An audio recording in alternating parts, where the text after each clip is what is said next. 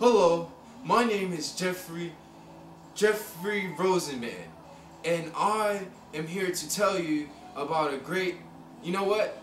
I I am casting for my mother's basement, and I'm here to tell you about movies because I am starting this because my friends, people always tell me, "Hey Jeffrey, you know a lot about movies. Why don't you just go on camera and tell people about movies that you have seen?"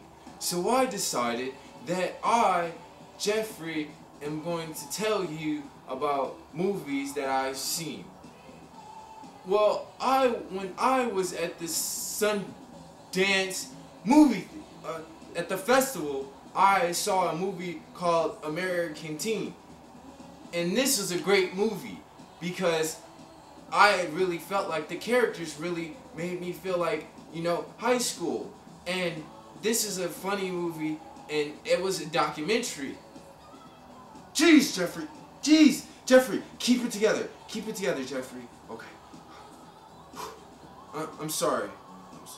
Okay, it was a great movie. It was half movie, half documentary, and that was what was cool about it. But I felt like that at times this movie really wouldn't capture major motion picture audience.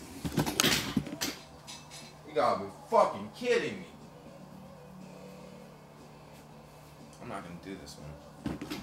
Fuck, man. It's a fucking camera, dude.